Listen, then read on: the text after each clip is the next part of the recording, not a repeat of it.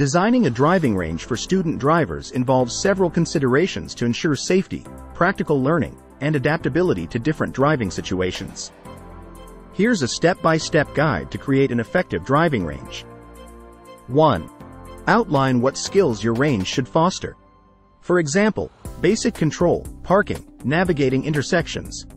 2. Choose a large, open area away from traffic and pedestrians to minimize risk. Ensure the site is legally compliant for use as a driving range. 3.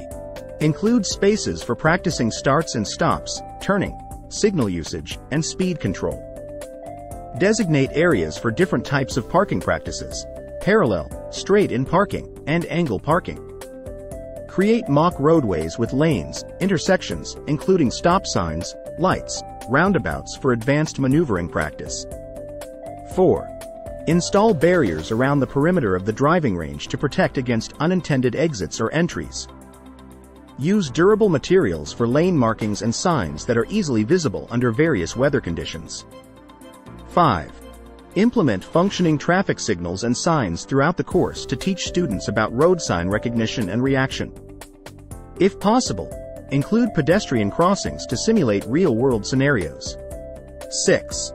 Plan for adequate drainage to prevent water accumulation on the driving surface. 7.